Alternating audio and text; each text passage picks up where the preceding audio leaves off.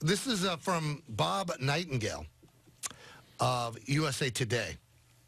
The White Sox have made a formal offer to Manny Machado. Okay. It's characterized as a serious offer, likely closer to 200 million than 300 million, which would not be enough to sway Machado to get on a flight from Chicago, from Miami to Chicago for a press conference. The the White Sox have yet to make a formal offer for Harper, but they remain in constant contact, meeting six weeks ago in person with Harper, his wife, and Scott Boras.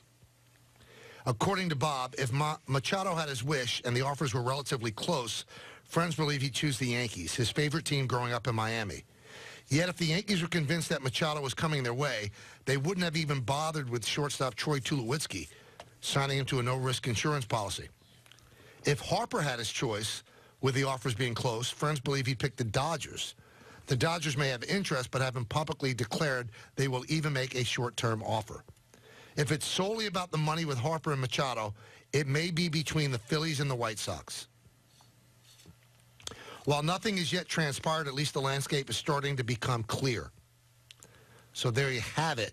Uh, the money that we all thought was going to be thrown at these two guys, not quite to this point. The largest offer he may get, I'm talking about Harper, is the 10-year, $300 million he turned down from the Nationals. Yeah. That included deferred payments, according to Nightingale, which do, would devalue the total to about $284 million. So it's supposed to be, you know, at least when it comes to Machado, a week after the new year. So that's tomorrow or next week at some point. So again, it looks like the agents got it wrong. That these guys were going to get a windfall, and it's just not out there. Teams do not want to spend that kind of money. Because what does it guarantee me? If I give Harper or Machado $300 million, Yeah, One thing it guarantees the White Sox is relevancy. All right, so but The you're Yankees relevant. uh, and, and the Phillies, it probably makes them the favorite. But, all right, relevancy. But I don't know if that gives the White Sox any chance at a championship for the length of the contract, does it? I know it's a wide open division, but those teams need a lot. All right? You put more fans in the seats, you get a few more people watching you. It's not going to make the White Sox more important than the Cubs. So are you going to get your money back?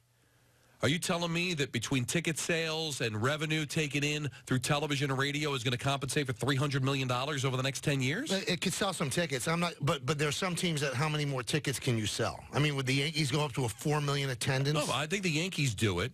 Dodgers do it because they want to win a championship.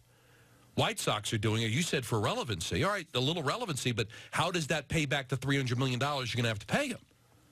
If I'm not going to win anything. But if you're relevant and you win games, you I mean, they, they drew for the first time ever, not the first time ever, but like in 20 years, under 20,000 a game last year. Right. So what does... So let's say they get up to 28,000 a game. Okay. And that's uh, eight times uh, 82, uh, 81.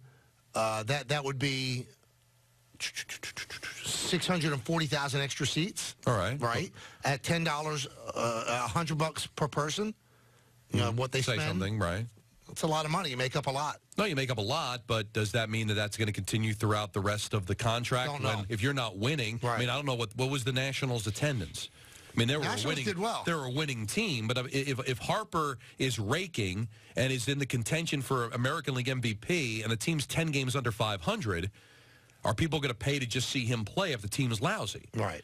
I don't know if he makes them a champion. He couldn't make the Nationals a champion. I'm not trying to kill him. I'm just saying that this is, it's not basketball where I can add the best player in the league and instantly make, make the playoffs and make a run. If- if- I can add the best player in the league and, and, and mean what, five more wins during the course of the season? If these guys, Don and Peter, don't, I'm not talking about home run. If they don't hit a grand slam, then there's going to be a work stoppage when this collective bargaining agreement is up. And I don't know what they're negotiating against because what they're negotiating against is the fact that GMs are smarter than ever.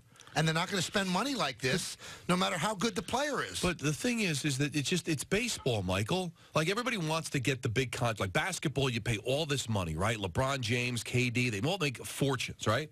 Because I can add Kevin Durant to the Knicks, and they'll make the Right. playoffs, and they'll make a run every single In baseball, year. it doesn't work. It doesn't work that way in baseball. But for these two guys, though, that play about 160 games a year, it will make them better teams. Will it make them champions? No.